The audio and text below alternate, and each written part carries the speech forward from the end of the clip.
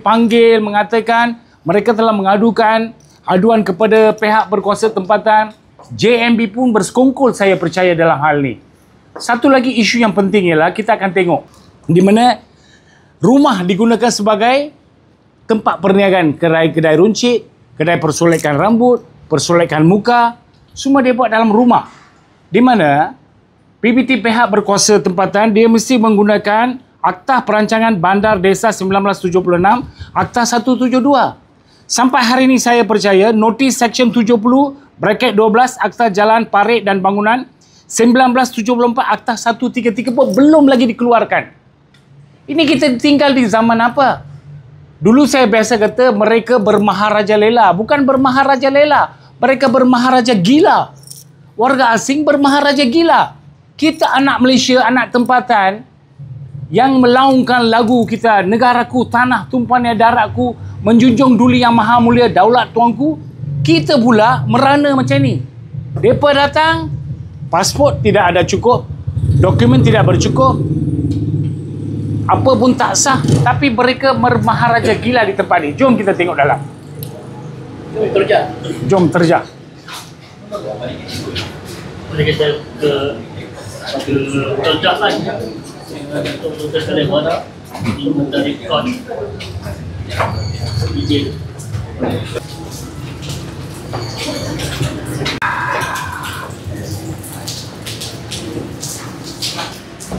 apa niaga? Apa niaga? Berniaga kan ni? Oh tengok you niaga. Telefon kah? Okey okey. Sini mana ada kedai runcit tadi kedai runcit mana? Oh depan ah. Ini adalah rumah-rumah pangsa di mana hari ini kita tahu bahawa mereka mengadakan perniagaan runcit persolekan. Kita boleh tengok depan lagi. Oleh kerana ha, oleh kerana mereka tahu hari ini kita akan datang sumber-sumber yang kuat kepada mereka mendapati bahawa kita akan terjah maka hari ini mereka setengah daripada mereka didapati telah menutup kedai-kedai perniagaan mereka yang dibuatkan dalam kediaman apalah majlis perbandaran, majlis bandaraya Subang Jaya ke Petaling Jaya ke apa dia buat, saya pun tak erti. Kita akan tengok lebih dalam lagi ya. Ini adalah mentari kot. Ini adalah tempat-tempat kediaman. Tetapi tempat kediaman digunakan untuk perniagaan runcit dan persolekan. Ha, saya depan sana kita boleh nampak lagi.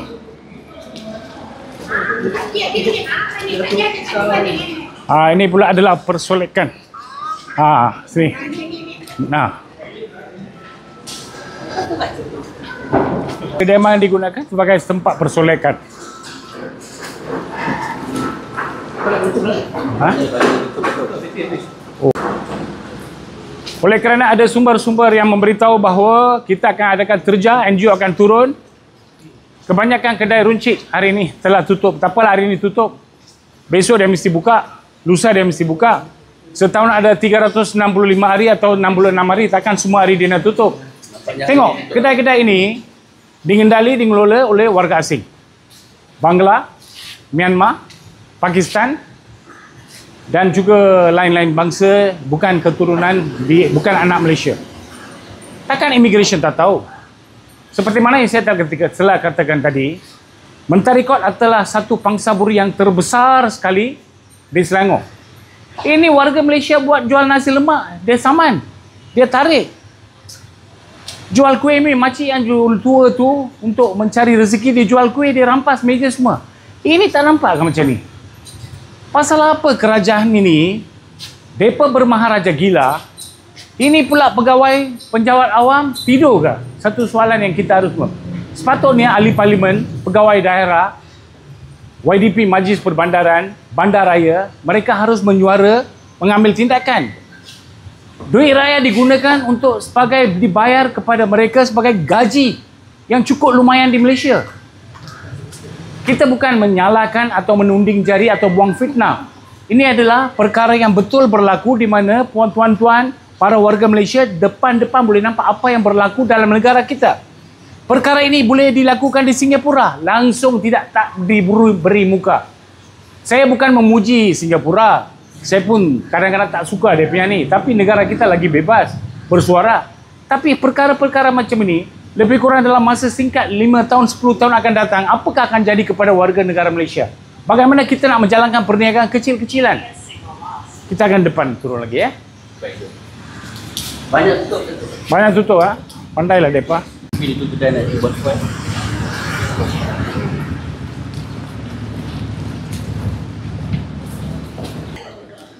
Ini ada pula Perbadanan Pengurusan Mentari Court.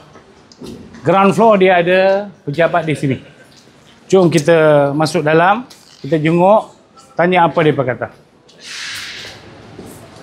Hello. Hello. Apa kabar? Ini pengurusan untuk ni eh. JMB. JMB. Siapa ada? Ada. Tengok kita dah dat- datang sini. Kita tunggu di pejabat. Kita nak jumpa dia punya pengurus ke atau orang yang bertanggungjawab. Tapi dia tak nak keluar. Tepuk dada, tanyalah selera. Kalau ada kebenaran, dia harus keluar menjawab kepada soalan. Kita warga Malaysia mempunyai kuasa mutlak untuk menanyakan saja, bukan mengacau. Ha? Depa tamu datang, kita beredar tempat lain ya.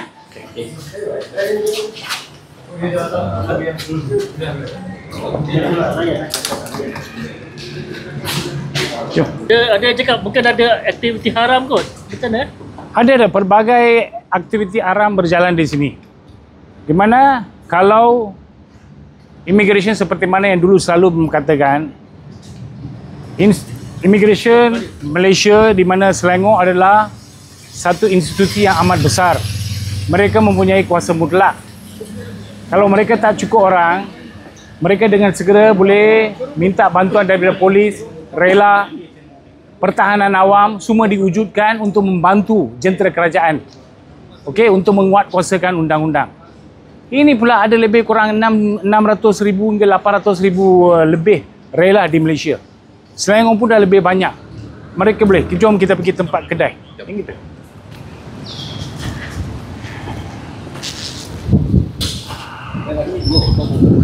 bulan pelajaran negara bulan pelajaran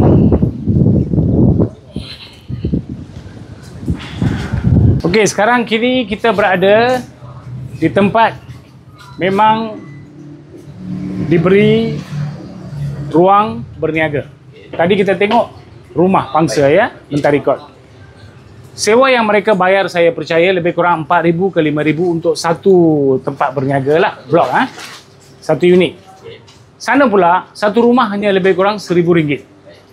Peniaga di sini mengeluarkan modal lebih kurang RM5,000. Mereka niaga ke terniaga kena bayar. Ini pula, saingan yang berlaku ialah warga asing berniaga di sana rumah. Persolekan kedai runcit. Seperti mana yang telah ditengok tadi ya, kawasan-kawasan. Hari ini cepat depa lebih pandai Ricky. Dia tahu kita turun dia tutup tutup. Ada signal banyak. Okey. So ini adalah kawasan di mana tempat perniagaan. Okey. Jom kita tengok depan lagi ya. Oh. Info banyak info sini ya. Ada tiga lapan, ada tiga setengah, ada empat. Tapi depa buat perniagaan di rumah pasal apa you orang tak komplain kepada JMB ke? Oh, itu dia tak payah cakap setengah. Apa tu? Kalau rumah. Ha ha. JMB langsung tak bertindak. Tapi ini adalah saingan untuk you orang kan? Kalau kita kan, macam kalau FPPJ ke apa kan, nak marah kan kalau tu letak barang di tu pun tak Ha, sana dia marah. Tengok macam ni ya. Peniaga tempatan berniaga di luar, Majlis Perbaham, uh, Perbandaran PBT ya, mereka merampas bagi notis. Ini pula depa berniaga dalam rumah. Dia cukup pakai kuasa dia. Dia kata dia nak challenge siapalah. Mungkin kita tahu latar belakang dia siapa yang ada di belakang. Ah, dia mencabar kerajaan. Dia mencabar rakyat Malaysia. Okey. Okey. Takkan tempat besar macam ini digondol dan mengelola oleh warga asing.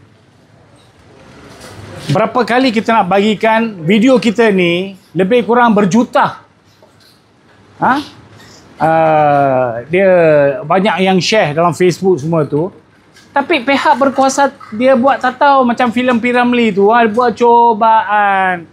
Hantu lalu pun cobaan, jemblang lalu pun cobaan, warga asing bermaharaja gila pun cobaan mereka buat. So, apakah penjawat awam membuat kita selalu menunding jari kepada ahli parlimen, menteri-menteri semua. Tapi mereka bersorak di parlimen macam sarkas. Inilah isu tempatan. Inilah isu yang dihadapi oleh warga Malaysia. Tak kira lah apa bangsa, kita adalah anak jati Malaysia yang akan menghadapi bahaya yang akan mamat maha besar di masa depan. Cukuplah sini. Sana. Ha, tengok dia warga Malaysia, dia berniaga kan, lebih kurang sewa yang dia bayar, 6,000 dia kata lebih kurang lah. Ni kedai runcit. Ini adalah tempat ruang yang dihaskan untuk berniaga. Mereka buat berniaga di rumah. Dia bayar sewa hanya 1,000 kedai runcit. Ini yang isu yang amat besar di Selangor. Kalau kita tinjau satu Malaysia lagi banyak. Saya dapati di Penang lagi banyak. Mereka bermaharaja gila. Ha. So, banyak pergi sana lah. Dia sewa murah saja rumah bapa. Bapa Harga-harga barang pun dia murah lah. dia seludup saja dia jual. Seludup. Ha, ha, tengok. seludup. Tengok. Rokok yang diseludup dipercayai ya. Saya buat ayat. Percayai. Bermaharaja gila di tempat ini. Yang diseludup dia jual dekat sana. Ha? Ini bukan Datuk Kalai kata. Ini semua tahu. Fakta memang fakta. Saya letakkan ayat imbuhan. Saya percaya. Rokok yang diseludup dijual. Siapakah harus bertindak? KPKDN harus bertindak. Penguat kuasa mana tak tahulah dia joli dekat mana. Apakah tindakan JMB ya? Tadi kita masuk pejabat JMB, dia tak mau keluar. Tak mau, tak mau. Dia tak mau keluar. Kita nak datang sana, kita nak tanya kepada mereka, apakah tindakan JMB? Dia langsung tidak mau keluar. Ini menunjukkan mereka mempunyai keberatan. Kalau ada kebenaran, dia mesti tampil keluar. Tampil tunjuk kita cakapkan. okey, apa tindakan? Kita kan sewa 4,000. Kalau Okey. 4,000 kita sewa satu letak dulu kan dulu-dulu manajemen dulu okey lah ini yang sekarang yang terbaru. Kalau kita letak sini roti rak roti pun dihalau. Ha, tengok ini adalah keresahan rakyat Malaysia. Ini 4,000 kita sewa tapi rumah yang disewa buat kedai tu 300. 300. Ah, macam Senang mana? saja. Macam mana? Okey. Tapi bila kita tanya dengan JMB, JMB ada tujuh, surat yang mereka sudah buat aduan dengan COP dan juga majlis. Tapi katanya uh, daripada sana tak ada orang datang ambil tindakan. Bila datang mereka bagi compound, compound tu lepas tu mereka bayar dengan kadar apa uh, diskaun. So esok dia buka balik. So dia tak ada end untuk benda ni. Sebab tu kita pun saya pun memang selalu fight untuk ni dalam saya punya grup tapi sampai sekarang tak ada orang. So Baiklah puan ada banyak yang komplain kepada kami. Dia kata Datuk turunlah kawasan ini maka hari ini kita datang. Kita dengan uh, sekeras-keras ni membantah kalau memba- kita tuju pada JMB lah pasal kita kenapa tak boleh letak barang di sini di sini kita sewa 4000 Ah. kedai tak. Oh yang FPJ tak bagi lah Tapi FPJ mari kalau kita tanya Mana dia tahu? Ini kan dalam ni FPJ Itu tugas beliau macam mana dia boleh menafikan mana dia tahu. Benda yang buat secara ah, Itu apa? Haram lah. Haram tu dia orang support pula Tapi kita buat secara, Secara sah. ah, Ada license Kita kena saman pula Saman pula. Saya pun tak tahu macam mana dia Okey, saya harap saya akan berjumpa dengan Datuk Bandar dalam masa yang singkat. Minggu depan juga saya harus jumpa dengan dia. Tanya kenapa ini. Dan saya juga secara bagi pihak NGO, kita akan bergabung dengan lebih banyak NGO akan menyuarakan hal di isu di Mentari Court. Kita mau perkara ini diselesaikan habis-habisan. Itu yang kita mau. Kita tidak mau mereka berbaharaja lela di sinilah. Ha? Rakyat Malaysia merana. Mereka berbaharaja lela, bayar 300 boleh buka kedai di rumah. Apakah PBT buat? Itulah soal. Ni depan-depan. Gajah di depan mata tak nampak, kuman nun di jauh nampak. Ha? Tengok macam mana. Ini membuatkan rakyat Malaysia keliru, marah. Tetapi perundangan kita hormat kepada perundangan. So kita tidak mau pergaduhan apapun. Kita nak menyelesaikan secara profesional. Kita menggesa, menyaran, pihak berkuasa bertindak. Kalau you tak bertindak, kita akan bertindak, kita akan adakan demonstrasi besar-besaran di SUK dan juga di Immigration Negeri Selangor. Ini Datuk Dr. Kalaiwanar mencabar kepada mereka bertindak segera.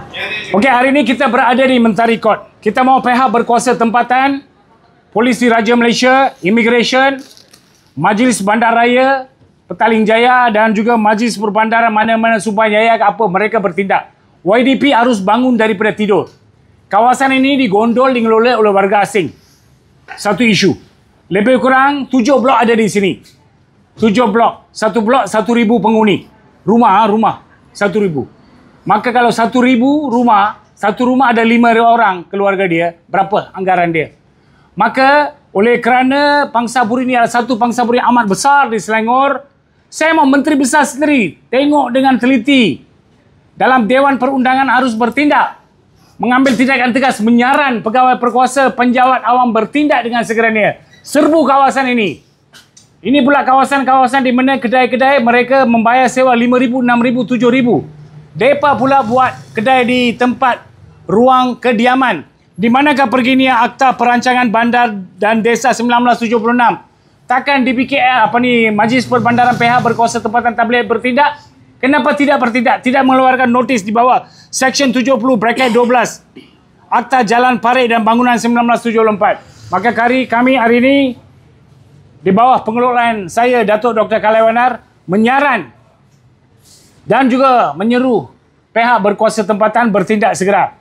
Bertindak, bertindak Bertindak, bertindak. dengan segera Dengan segera. demi demi Demi, demi. rakyat Malaysia. Rakyat Malaysia. Kami kami Kami, kami. tidak mau Tidak mau. warga asing Warga asing. bermaharaja gila Berwarna gila. dalam bumi kita. Dalam bumi kita. Undur-undur Undur, undur. warga asing. Warga asing. Jangan-jangan Jangan, jangan. mencabar Mencabar. martabat Martabat. negara Negara. dan rakyat Malaysia. Dan rakyat Malaysia. Daulat tuanku. Daulat tuanku. Daulat tuanku. Daulat tuanku. Daulat tuanku. Daulat tuanku.